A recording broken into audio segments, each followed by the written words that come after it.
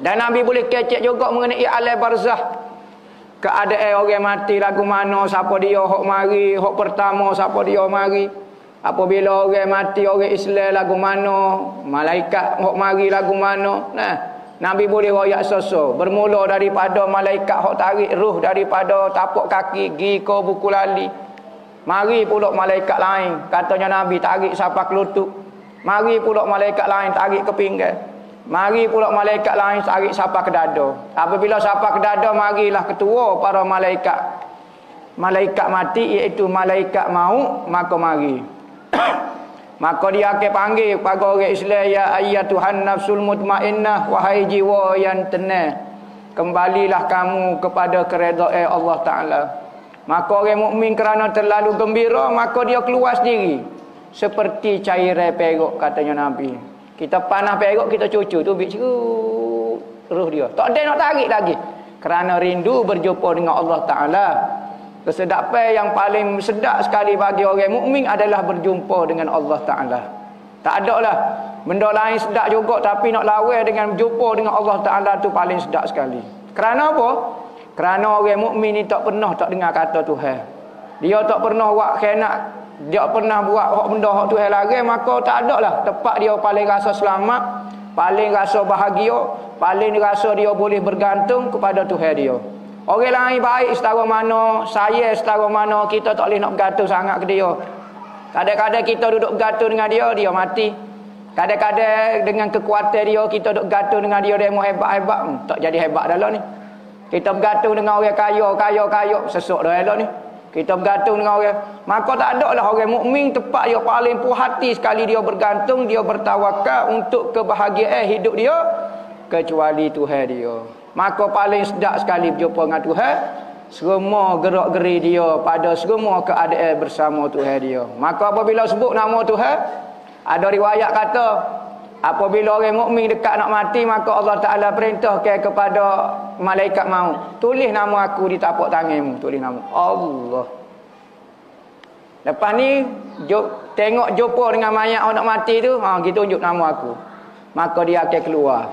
Oh, tak payah tarik-tarik. Mana kalau mayat orang kafir pula katanya Nabi Muhammad apabila siapa ke dada maka malaikat mari jekuh. Malaikat maut kata, "Hei nafsu yang jahat, Tubiklah mutemu gerah lah dengan Tuhan. Maka takutnya, dia tahu dah, dia akan tak hidup tentera. Maka takut jadi pecah. Pecah. Roh tu jadi pecah. Apabila pecah ni masalah. Kena tarik. Kena senjuh. Benda kalau dia rosak nak senjuh tu payah. Jadi pecah roh dia. Maka tarik tu sakit dia. Nah, ha, tu siapa dia beritahu? Nabi Muhammad sebut. Dia boleh sebut so, so, so. Pas lepas tu siapa dia aja sambut pula. Nah, kalau malaikat kalau roh yang baik, maka mari pakaian daripada syurga. Kain sutera daripada syurga, maka dia ambil minyak atar daripada syurga, sambut lalu roh. Supaya budak. Budak lahir ke? Maka tok bidai pun sambut peluk lalu balik buat naik. Maka baulah roh orang baik itu sangat wangi. Maka malaikat hok tunggu jujuk siapa ke langit itu memuji belaka. Roh siapa dia ni bau wangi ni? Masya-Allah. Maka malaikat hojo bawa pun rasa bangga bawa roh lagu ni. Oh malaikat oh, budak tu lah hok duk mengaji semacam, hok duk semaya semacam, hok taat kepada kedua ibu bapa. Oh hidup sebut lagu tu. Siapa kepada langit pertama maka wi salah. Wi bui salah. Roh tak boleh naik kursi-kursi. Roh kita tak boleh nak naik kursi-kursi. Langit kedua, langit ketiga mesti ada penjaga dia. Naiklah langit yang pertama maka malaikat Jibril tanya, Assalamualaikum Bui Saleh hamba nak naik. Katanya malaikat penjaga langit siapa dia ni? Aruh sekia-sekia. Dia diberi izin kodok ni. Naik katanya Jibril ha dia boleh naik ni. Ha dia lepas dia ruh orang Islam. Ha maka dibuka pintu naik. Naik. Naik tu bau wangi sebutir. Sebutir langit pakak suka belaka. Duk puji-puji ruh makna ni. Naik siapa ke langit ketujuh? Dipersembahkan ruh itu kepada Tuhan. Nah, bukan kata Tuhan di duduk langit ketujuh, tetapi ruh siapa situ saja. Tunjuk Tuhan duduk situ. Nah, supaya kita lah kita kecek dengan mak kita di Kota Baru. Tak syarat mak kita duduk Kota Baru. Hamba masa tu duduk sisi tu, duduk telefon tu masa tu hamba duduk Kota Baru. Maka Ruh dipersembahkan kepada Tuhan maka Tuhan je royak. Ha, ruh ni ruh jahat maka letak dia di sijin. Sijin ni tempat penjara ruh-ruh di langit di tengah-tengah bumi. Mana kalau ruh baik pula di Iliyin dipanggil tempat simpanan ruh-ruh. Tulis nama dia, daftar dia di Iliyin. Okey, ruh saat ni kembali ke semula kepada jasad dia. Maka ruh saat ni terbang semula turun tepek di jasad. Dia tak masuk dah. Kalau masuk hidup mayat tu. Ah ha, masuk ke? Tengah duk mandi masuk. Lopak tu imam. Hok tu oh, wali dah tu lopak. Hok bukan wali tak kira. Pakai naik basikal. Bukan kata lopak naik basikal pakai perih naik basikal lagu tu ya. Maka ruh akan tepek di dada. Duduk semacam katuk gitu. Pup, tepek. Maka dia tengok siapa dia mandi mayat dia. Siap dia pesan jangan ke gosok selu-selu sikit weh. Ambo baru cabut nyawa sakitnya lah. Ha, nah. Tu apabila kapal mayat dia duduk. Apabila naik orang usung dia ada. Naik ada sekali tu ruh tu. Maka ruh akan royak cepat-cepat lah. Ambo lama jumpa dengan Tuhan ni. Cepat-cepat lah pergi kubur. Mana kalau ruh jahat pula jangan buat lagi lah. Jangan buat lagi. Pasal apa dia nak tunggu ruh demo. Mayat demo ya kan tu dalam mari rumah. Tentu dah buat lagi kubur. Ha. Apabila pergi kubur pula mari malaikat yang pertama. Apabila duduk dalam kubur mari satu malaikat Alam kubur, alam barzah berbanding dengan alam dunia, jauh dia beribu lipat kali ganda lagi. Sebagaimana alam rohing manusia lagi sebelum pada alam dunia, ia duduk dalam rohing, perut ibu dia. Kita duduk dalam perut ibu, kita rasa luahnya lah. Maka apabila kita keluar masuk kepada dunia baru tengok Allah luahnya alam dunia ni. Ha, kita masuk alam barzah lagu tu juga asal supaya keluar daripada rohing Allah besarnya sejauh mata memandang putih ceruh maka ketika kita tengok putih tiba-tiba ada satu benda jatuh. Jauh hidup jauh pada kita. Gedeb jatuh daripada langit. Malaikat pertama mari jumpa kita dalam kubur. Mari jalan perak perak perak perak perak perak perak perak. Nama gapo? Dia tanya oh yang ni super pejabat pendaftaran jugaklah eh nama gapo awak? Ni ha ah. Nama saya Chicken. Chicken nama ni. Ha. Nama dia Cik King benar silap tulis jadi Chicken. Nama ha.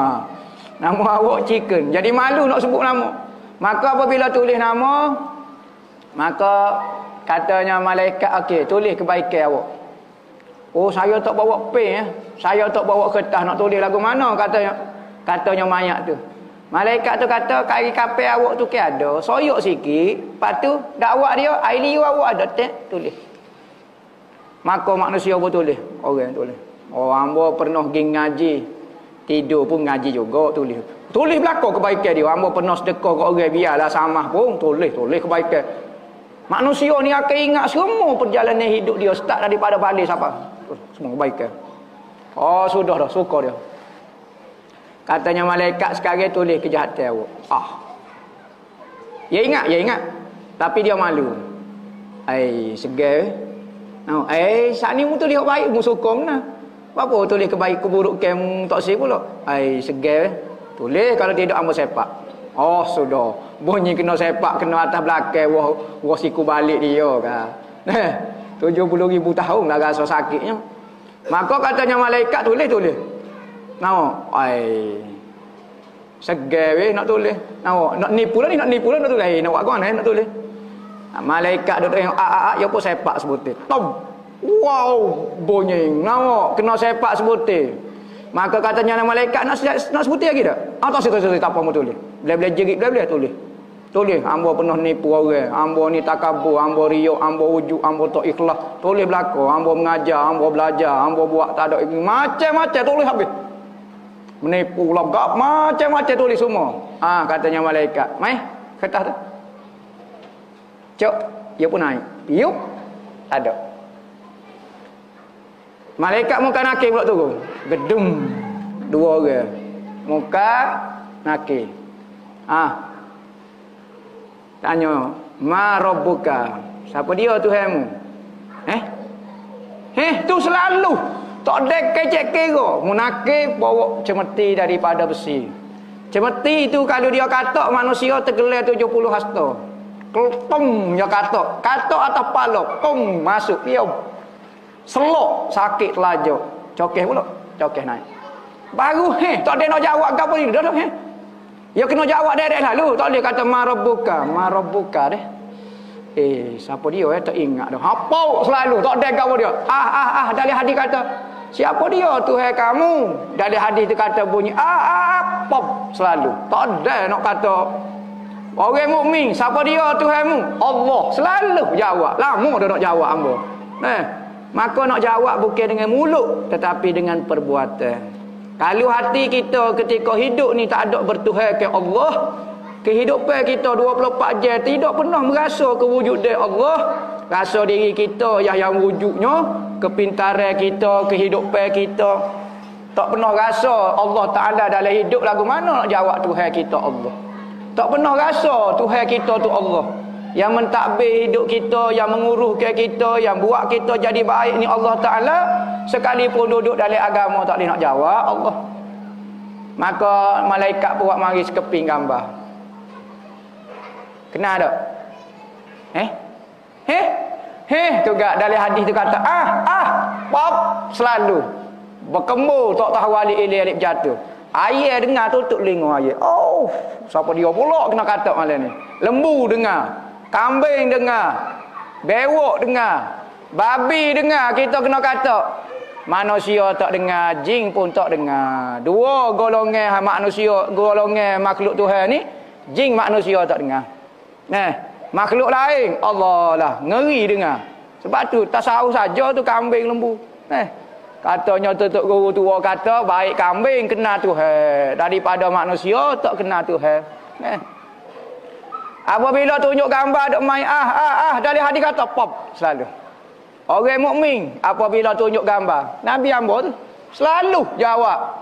Pas lagu mana kalau kita tak pernah ngaji bab Nabi Muhammad? Nak jawab ke mana? Eh. Siapa dia tu? Tu email kapu ambo pop selalu.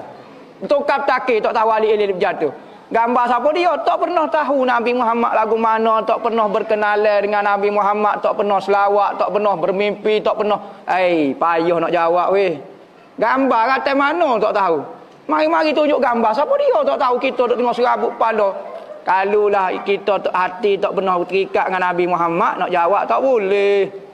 Eh, sekali pun kita duduk tu nak ikut Nabi Muhammad tapi hati tak ada teringat ke Nabi Muhammad, tak boleh nak jawab.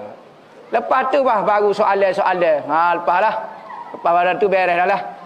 Katanya malaikat tak apa dah lah habis dah soalan. Kalau orang mukmin boleh jawab belaka.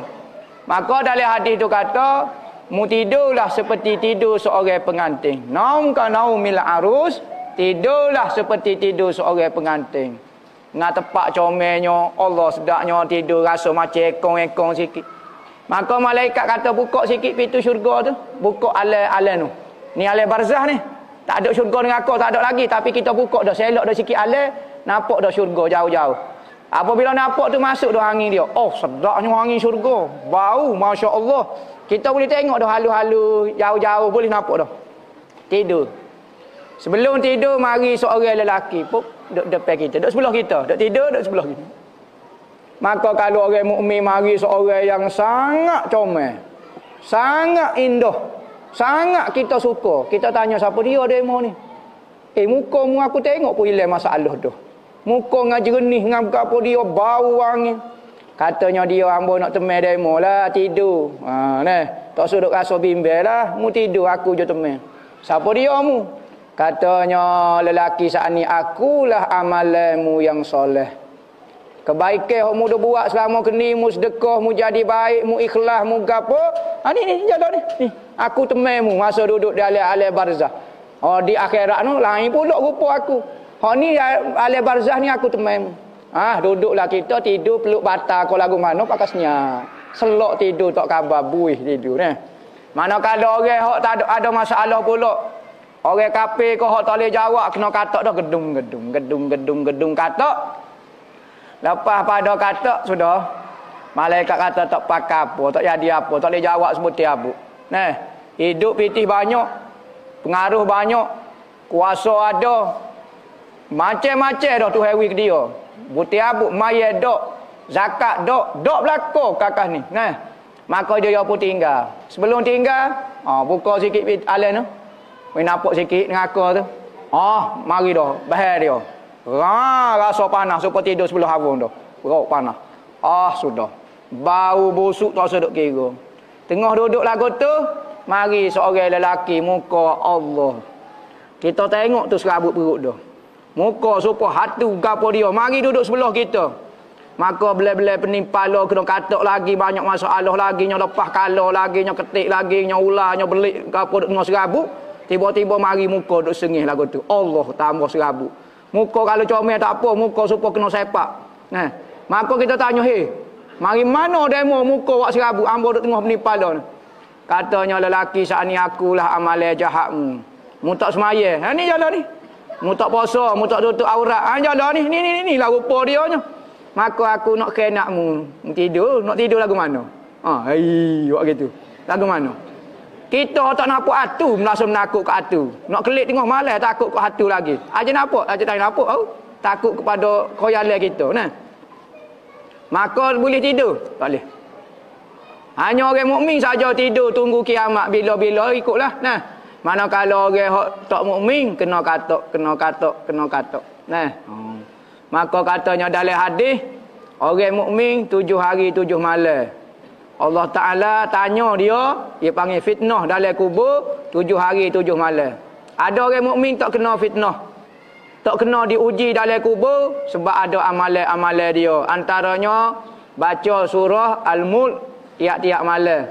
Maka dalam kubur tak ada masalah apa dia. Tak kena. Akhirat lah kena. Ya? Nah, kaki lipat misalnya. Tapi dia rajin baca surah Al-Mulk.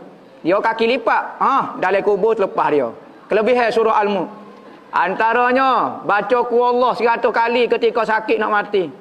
Ketika orang sakit nak mati, wi sebeh dia biar baca ku Allah biar habis 100 kali. Ha, antara kelebihannya mati malam Jumaat. Mati malam Jumaat, mati hari Jumaat, maka seksa kubur tak ada, tak ada, tak ada. Biar dia jahat pun, ayo, biar dia jahat pun. Cuma akhirat tu kecek kira pula lah. Oh, di bal alim barzah ni tak ada kelebihan. Faham apa dia lagi? Mati syahid kau apa dia? Beberapa kelebihan orang mukmin selamat. Maka orang mukmin tujuh hari tujuh malam kena uji. Sebab tu lah orang dulu kalau ayah dia mati bimbel dia. Seminggu pertama tu bimbel. Maka lagu mana? Kita buat ngatik. Kita buat tahlil. Hadiah ke pahala sebanyak mungkin.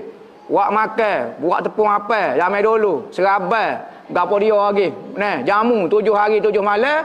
Kerana dia diuji. Mudah-mudahan kita hantar pahala kalau siapa boleh-boleh membantu dia. Mana kalau orang kafir pula, orang pasik pula 40 hari 40 malam. Kena uji, kena tanya. Oh kita. Masuk jagonya tanya demo sehari pun penipal dah. Tak siwi tidur. Nah, kita jadi nak bengong dah. Lagu mana seminggu. Ha, sebab itulah ulama kata saya gianya membuat kebajikan yang banyak bagi si mati dalam masa seminggu. Ikutlah. Nah, buat khatam Quran ko, buat gapo ko supaya membantu mayat. Nah, tu Nabi ayat cerita dia sebut dalam hadis. So so so. Nah.